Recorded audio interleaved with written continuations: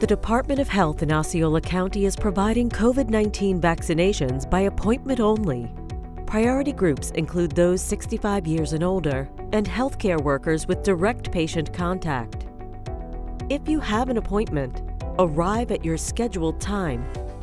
Once you arrive, you will be greeted by one of the staff members for confirmation. You will then be directed to wait in line.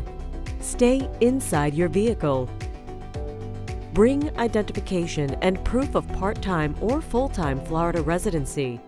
If you are a healthcare worker with direct contact, bring your work ID or other proof of employment. Keep your gas tanks full, as there may be significant waiting times for vaccinations. Individuals are vaccinated while remaining in their car. If you are returning for a second dose appointment, remember to bring your vaccination card.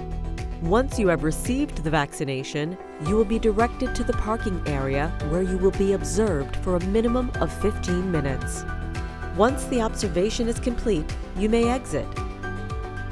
Continue staying safe by wearing your face covering in public and adhere to CDC guidelines, which includes social distancing, sanitizing commonly used surfaces, and hand washing. For more information, follow the Health Department at osceola.floridahealth.gov